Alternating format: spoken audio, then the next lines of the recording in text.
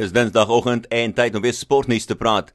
Voormalige tennis wêreldnommer 1 Novak Djokovic het tekens gewys dat hy dalk weer mag terugwees op pad na goeie vorm toe met 'n 6-stroop 6-1 oorwinning oor mede Serviese speler Dusan Lajovic in die eerste ronde van die Monte Carlo Meesters.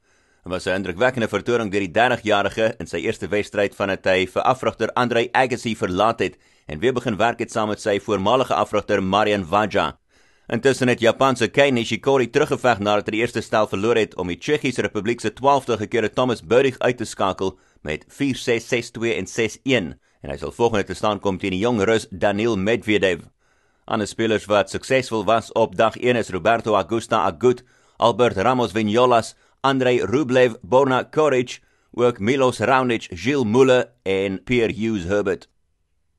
En dan was daar een cricketwedstryd gespeel in die Indiese Premier League gisterand met die Kolkata Knight Riders wat voor 'n skare van 51000 mense die Delhi Daredevils pak slag gegee het met 71 lopies.